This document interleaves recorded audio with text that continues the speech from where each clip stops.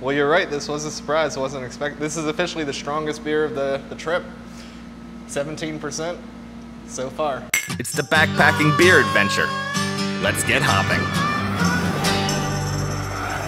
We just left Avery, and uh, that brewery is incredible. That's been one of the most important breweries to me in my whole life. Like just some of the beers that I've had from them, they're like from the early 90s. I know we're hitchhiking.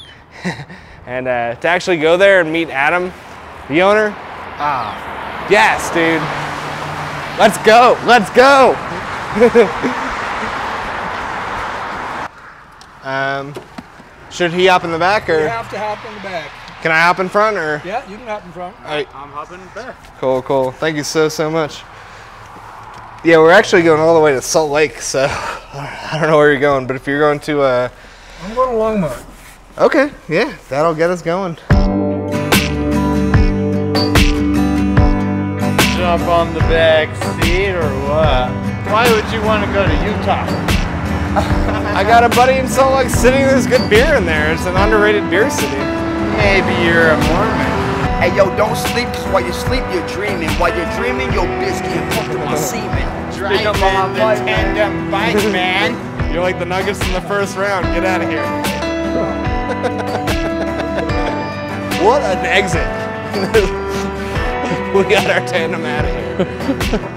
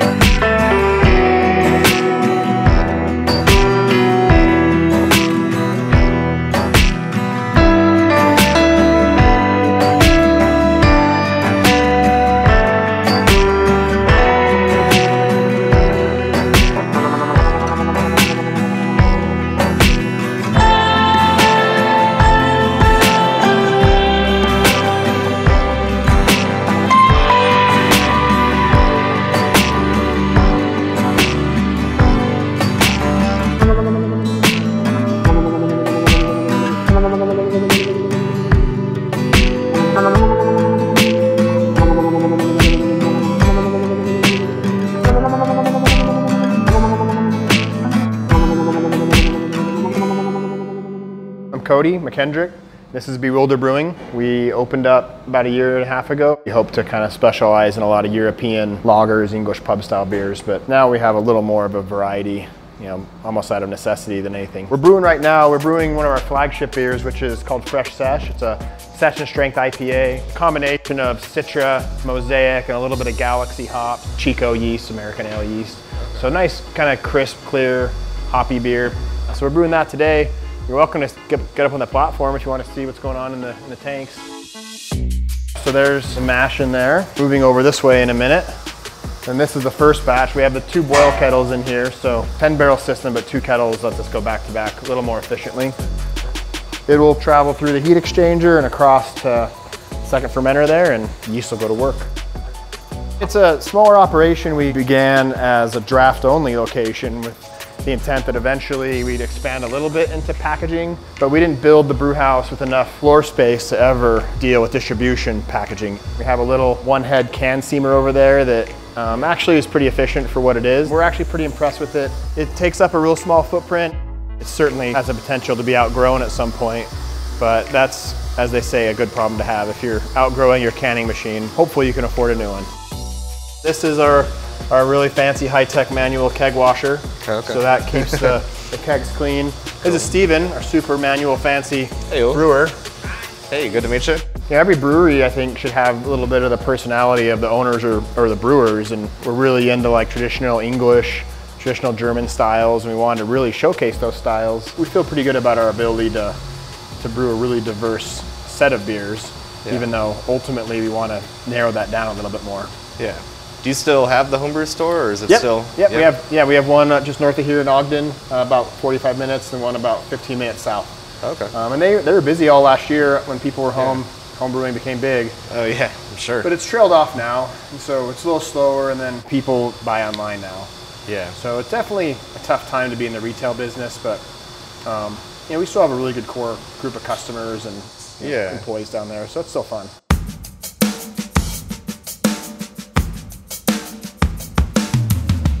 So this is just a cold room. We had a, a good friend, a local artist, do the mural for us. We deliver some kegs to different bars and restaurants, and I see the size of some of their walk-ins. I'm very, very thankful that we have this. Super old building. It's been a bunch of bars before we moved into it. Every other window was cinder blocked in, and it was a concert venue, Frenched in. All the plumbing, that was a hole eight feet deep right where we were standing, and we had to refloat the floor. And it's kind of a lot of money and a lot of work to make a place look like you didn't put a lot of money and a lot of work into it. So we got to figure out how to get beer from here to there. Maybe we'll hard pipe across. Yeah, We'll figure something out. something creative. Yeah. When people get into their dream of like opening a brewery, and myself included, you see the price tag of the equipment, you're like, oh, you know, equipment's not totally unreasonable. Like we could probably get a loan for that. But when you start seeing that the cost of the utility upgrades for the facility costs more than the brew house, then it starts to really add up and it's a reality check. We have more into plumbing and electric than we do into the stainless. And we have a lot in stainless. Yeah. So thanks for pouring some beers for us. Yeah, absolutely. Gave you kind of a flight. We've got some of our most popular beers. Cool. So I'll start with the Kolsch then. Yeah, so that's, you know, we try and make a real traditional Kolsch. We use, you know, Köln malt from Weyermann, which is brought over from Köln, Germany. Um, a little bit of wheat, a little bit of Vienna. We only really switch or departure from tradition is Hallertau Blanc, which is probably not, which isn't a traditional hop for that beer style, but we like the flowery, almost like white winey character of that hop, how it pairs with that beer. Uh, so real crisp, super easy to drink. Yeah, it's like an elegant sipper. You know? Yeah, yeah.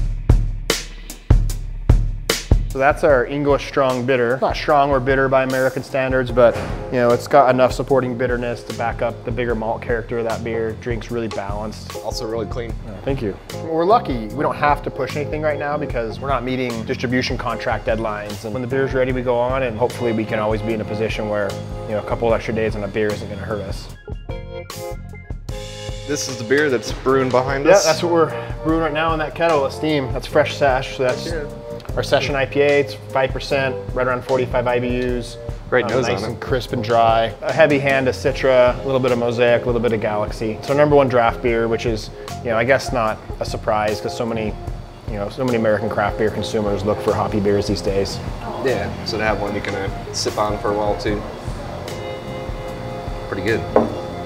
That's our blueberry pomegranate sour. Is this one of the first sours you've made, or No, we've done a, quite a few. Our raspberry is our full-time sour, and then we kind of rotate different stuff behind it. We've done pink guava. I've got a dry hopped cherry sour back there. It's coming out next week. I'm gonna do a mint lime next week. That's badass. That's really well done. It's like Yeah. fruity, and then the sour comes in perfect. My preference is to have a little less tartness. I don't let the kettle sour go as far as some people will. Like I try and stop the pH right around 3-4. I don't use any artificial flavorings or anything. It's just fruit puree. Turned out freaking awesome. Yeah, it's fun. You wanna try these guys here? Yeah. So this is our four rise rye PA. Um, it has uh, malted rye, which is pumpernickel. There's a lot of different varieties of rye. Um, and then it has flaked rye, uh, red crystal rye from Simpsons, and a little bit of chocolate rye. So four different ryes in it. And then the hops are a, a hop blend called NZH uh, 101, and then also some Galaxy. The first sip is wiping away that sip too. Oh yeah, it's definitely a bigger beer, right? Yeah. Yeah. This is a full-time beer for us. It's called the Deseret IPA. And Deseret means honeybee. Um, and Utah is the Deseret state, so it kind of goes there. And we put a bunch of honey in it, which throws people off because people think of honey and they think it's going to be sweet. Right. But the honey ferments away. Yeah. So you get a little bit of the honey, very, very little in the flavor with the citrus hops in the nose. It kind of gives it a florally citrus, almost like orange blossom honey aroma. And they wanted the color to look like honey too. Good work there. Oh yeah, yeah. You're definitely gonna hint of the honey, almost in the body a little bit. Mm-hmm. But it's really well attenuated. It, it finishes out pretty dry. Both of those are charity beers. One benefits the Pride Center, one benefits the Leukemia and Lymphoma Foundation. It's cool when you can brew good beer, have a beautiful place for people to drink it, and you're giving back to the community. Yeah, historically, I mean, you look at where the brew pubs were in, in Europe, especially, like they were cultural centers of the communities. People gathered there to celebrate, and they gathered there to mourn, and they gathered there to do business, and they gathered there to socialize. We wanted that to be what we built here, a place where people could gather and have beer. Well, thanks for sharing all the beers, Oh, taking yeah. us around. Thanks for coming awesome. down. Yeah, Pleasure. Appreciate it. Yeah. Cool. We did it.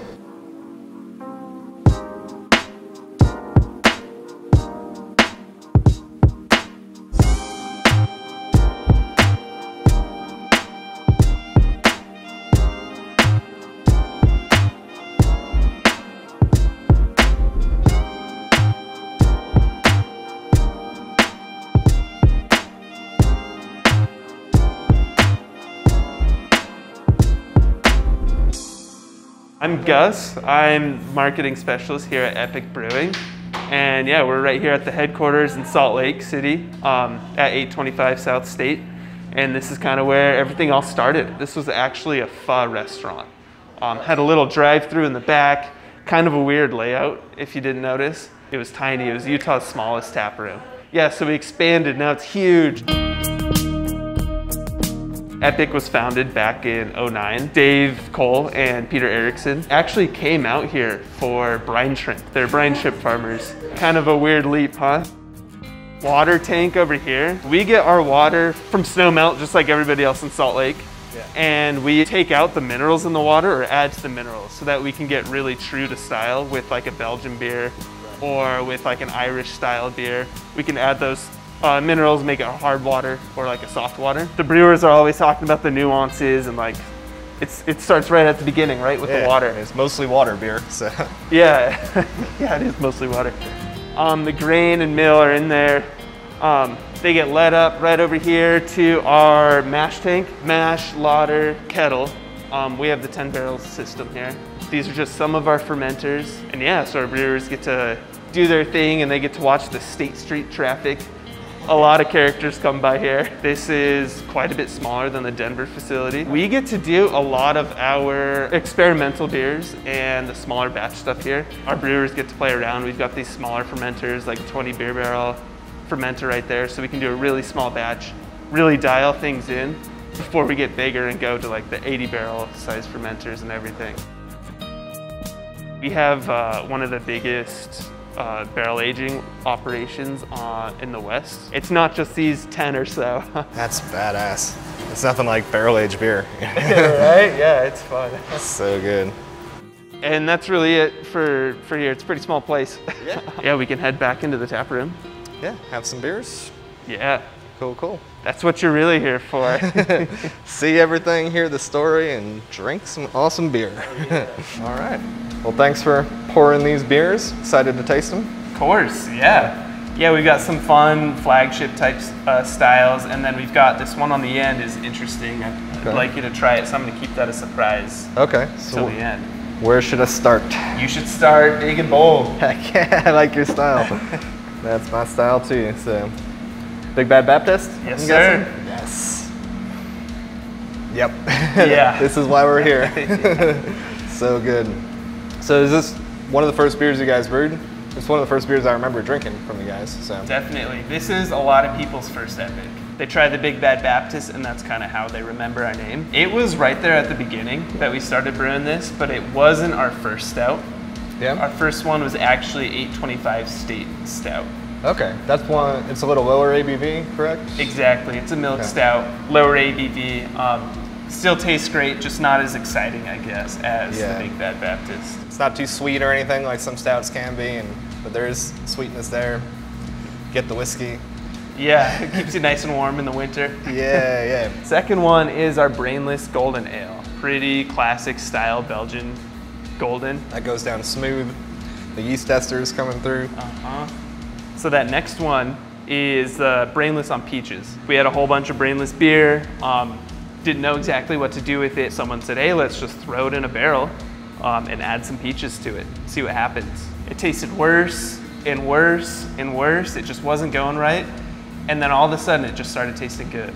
Wow. And then it started tasting better, and they were like, quick, let's pull that out of there. Yeah. People started drinking it and they were loving it. So we decided to expand. Now we've got brainless on cherries, brainless on raspberries. So this is Imperial IPA, just another one of our early on IPAs, more on the West Coast side. Ooh, nice. Yeah. I'm sure I've had this before, but that is refreshing. Like some of those hazy IPAs that are everywhere are good, and I'm, I know you have one or two, but uh, it's nice to take a sip like this and like just bring it back a few years. yeah, yeah. A little flash from the past. yeah. Still delicious today. This other IPA, it's a coconut IPA. We sit on a lot of coconut here, and we thought, what else can we do? Let's let's throw it in an IPA. So we put a ton of coconut in there. Coconut so- keeps like coming on stronger. I like it. Because you don't get that like sunscreen coconut you can get from some coconut beers. Yeah, yeah. It's more like it hits you right after. This beer is called Juniper. Um, and it's fermented base, it's orange peel and lemon peel, and then filtered water. And we present it as a, a gin like beverage. Oh wow.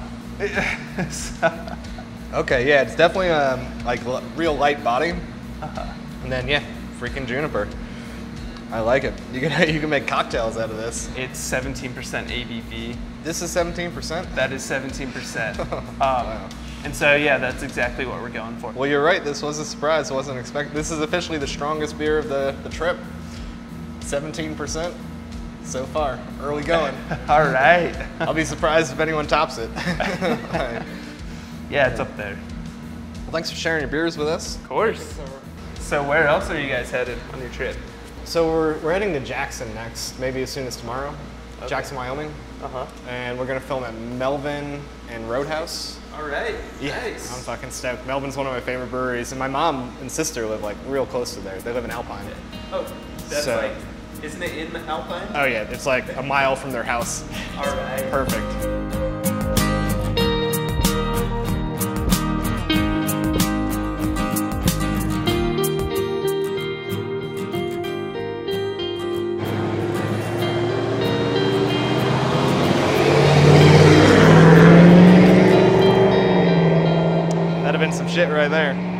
Have been nice to get a ride from a barn. yeah. When have you ever seen Uh, a white okay. dude and a black dude driving down the road on a tandem bike? This is brews and tours, like you guys. Uh, like- it's called hopping, the backpacking beer adventure. So we're just going Okay. to breweries and like having a good time. I hope you marry seven wives in Utah. I love beer. It is delicious. Here's to another one.